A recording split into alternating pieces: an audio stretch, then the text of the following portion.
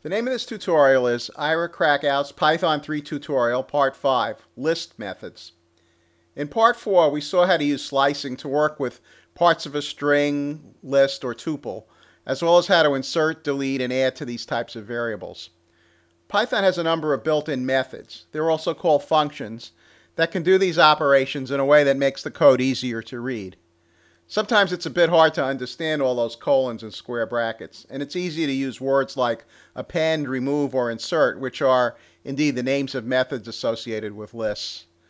We'll also see how these easy to understand methods can be used to build a simple stack where the last element added is the first element retrieved, or a queue where the first element added is the first element retrieved. We'll also discover how to sort, count, and locate items on a list. Along the way, we'll learn about the autocomplete feature of Blender's Python console, a handy feature that documents available methods. We'll be working in the Python 3 console window again, so start with Blender 2.5. We'll be using the Python console for the most current version, Alpha 2. Go to the scripting setup, position the cursor in the Python console window at the lower left corner, and press Control down arrow to maximize the window. First off, what is a method anyway? In Python, a list is actually an object. Depending on the type of object, Python defines methods, which are actions that can be done with the object. The Python console's autocomplete feature displays a list of what can be done with a particular type of object. Let's start with a string object. So enter s equals, quote, happy blendering, close quote, which is a string. Then type s dot and press the autocomplete button. You get a list of different things you can do with the string S. Let's use the capitalize method to capitalize the first letter of the string. Enter capitalize, left parenthesis, right parenthesis, and press enter, and you get happy blendering with the H capitalized. Sometimes a method produces a true-false result, like you're asking the string a question. For example, a numeric string is a string that consists of numbers. Right now, it does not have that quality. So entering s dot is numeric, left parenthesis, right parenthesis, produces the answer false. However, assigning a numeric value to a string and asking it if it's numeric will produce a true result. So s equals single quote and enter some numbers, close the quote. And then s dot, and you'll see a different list of methods because the methods are specific to strings. So we'll type s dot is numeric, left parenthesis, right parenthesis, and the answer is true. Now let's redefine s to be a list instead of a string. So let's enter the list Mary had a lamb and assign it to s.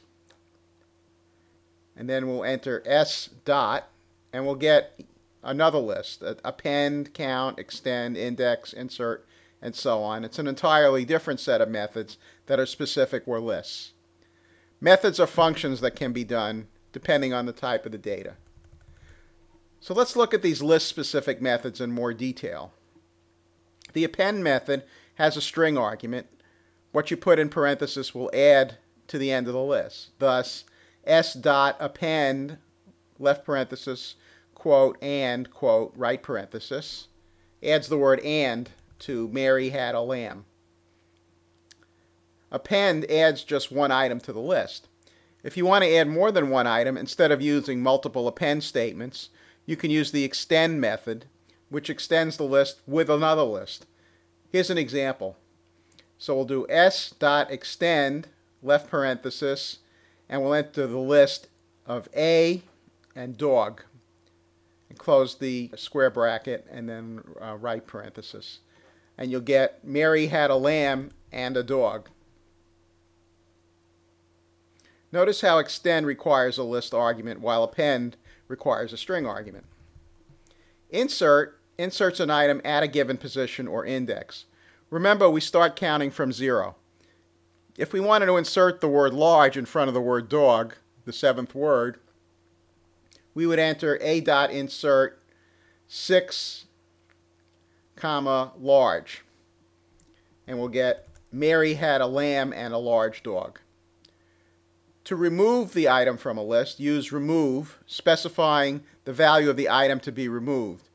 So to remove the word large, the entry we just entered, enter s dot remove left parenthesis single quote large single quote right parenthesis. And we're back to Mary had a lamb and a dog. The pop method with no arguments returns the last item in the list and deletes it from the list. So t equals s dot pop left parenthesis right parenthesis assigns the value dog to t and removes dog from the list. So now you have Mary had a lamb and a.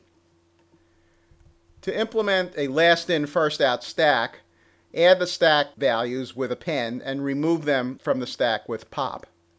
If you want a last in first out queue, use pop 0 instead of pop, and the first element will be removed. Pop can take an argument, which is the index of the value of the pop. So do s equals pop parenthesis 4 you get the word and.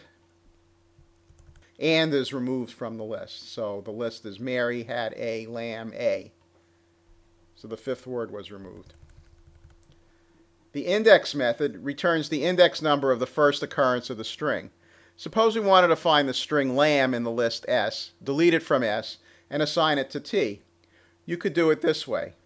T equals S dot pop, parenthesis, s dot index parenthesis quote lamb quote right parenthesis right parenthesis.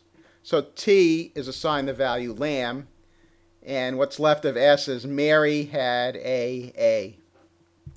The count method returns the number of times a particular value occurs in the list.